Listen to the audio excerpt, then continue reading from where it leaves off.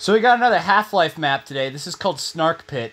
Uh, I remember when I used to play uh, Half-Life Deathmatch uh, quite a bit. I remember thinking this map is really cool.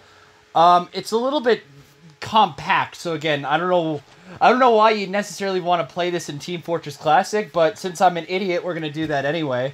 Um, something worth noting about this is that this is also done by uh, Dario Casali. I, again, I keep assuming I'm saying that name right, or I got the name right at all. You don't know with me.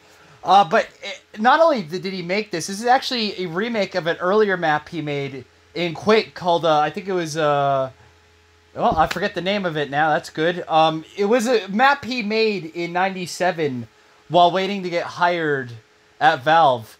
But yeah, anyway, I think his initials are also hitting somewhere. Give me a second. Yeah, there they are. So yeah, there's the our Cassell. Right, I think that's what that's supposed to be. I have no idea.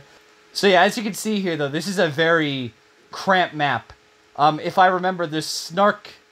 There's a set a of pipes where you can activate to drop snarks on people. Hence the term snark pit. I know. Um, if I can find that real quick. Ah, if you normally in Half Life, if you press this button, uh, yeah, it starts dropping snarks everywhere, and they like. If you've never played Half Life, they're annoying little buggers that chase you and slowly chip away damage and as after they've been alive for and active for a while, they explode. So yeah, not pleasant. Definitely not the most pleasant things to deal with. Anyway, uh, enough said. Let's just uh, I'll show off the map a little bit here. And uh, besides that, there are a lot of little traps here, like things you can activate. Like you can turn this off and on. If you turn it on, it does that. I know, go figure. So a lot of what like uh, worked in Half-Life still works here. Uh, just the snarks aren't. Oh! I completely didn't even think that. Yeah, the armor pickups from Half-Life spawn in just as fine, just fine here. So there you go. Alongside the medkits. Remember, when I was playing uh, Frenzy, I said some of the things still work. And lo and behold, they do. Like that. So yeah, remember, Team Fortress Classic, besides assets, like, you know, graphics and uh, models and stuff, it shares uh, a few of the actual entities. Uh, you probably don't want to go in here because it's radioactive. I completely forgot about that. I thought the liquid just killed you, but I could like you can tell I haven't played this for a while. So yeah, um, this might work uh, still in Team Fortress Classic if we were talking like a few people per team. But knowing my dumb self, I'm gonna have to put in 32 people here because why not? So I'll show you the snark thing in a second. If you go up here, there's also this right here. You can you can activate this to you know get stop people from following you. You can also do this, which I think just moves that. I'm not sure what the point of this is. Like, even when I used to play Half-Life, I don't know if this actually had a purpose other than just a hiding spot.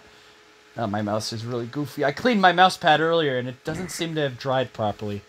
Then again, I might just be stupid and have it in the wrong spot. Oh, come on, please. Okay, I won't be doing a lot of fast turns to the right because this is decided it doesn't want to work all of a sudden. That's good. Ah, no, there we go. Never mind. It can't make up its mind. I guess I'll show you the actual snark dispenser now. Yeah, here it is. As you can see, it does absolutely nothing in Team Fortress Classic. What a shame. Anyway, I guess I'll play with some bots now. By the way, I did a quick check. It was DCDM3 was the name of the Quake map. Just so, you know, cover my bases there. Can't believe I forgot that. Anyway, let's, uh... I'm gonna be green. I'm gonna break the mold. They're coming up blue, though. That's weird.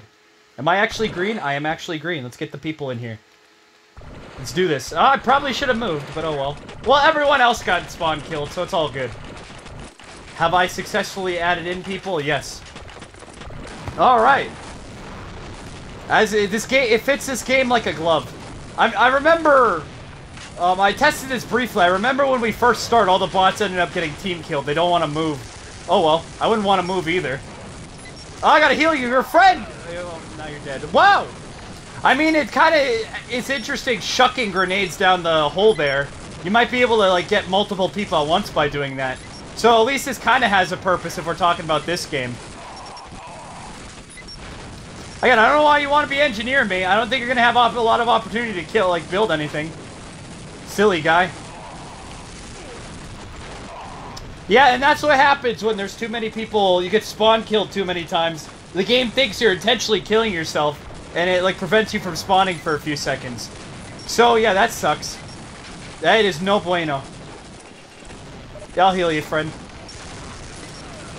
Yeah, I would say so far this is probably, um, at least of between this and Frenzy, I would say actually, I take back what I said. This one is simply just too nuts for like any sort of like full server to work on. You know, we just keep like killing each other by spawn can like getting telefrag. That's no good. I mean, someone like this enough to create um, a waypoint file for Box uh, Foxbot. I should mention uh, bot, Foxbot, which is the bot I use for this game, uh, requires waypoint files for the maps, so someone has to go in and like set up a, like you know, like a waypoint file so the bots can understand where to go, what's important, stuff like that. You know, someone has to have been playing this if they like bothered to set this up. Like I get either that or just for completion's sake to have all the Half-Life maps there. I don't know. I mean, again, to be fair, in Half-Life itself, you could be playing with this many people. But even then, there'd be weapons and stuff everywhere, so it'd be a little more suited. Also, not you don't start with grenades in Half-Life. That's a big thing. Like in like, there's only one kind of grenade anyway. Not like you know, like the the big grenades, the EMP grenades, like you know, nail bombs, stuff like that. Look at that score, minus eight. All right. Hey, I'm doing better than .com. Never mind. Uh, yeah, I don't recommend it. You know, Frenzy was probably the better pick between all the maps so far. But we'll have to play the other Half-Life maps before I say which one's actually good for Team Fortress Classic. Don't play this one, though.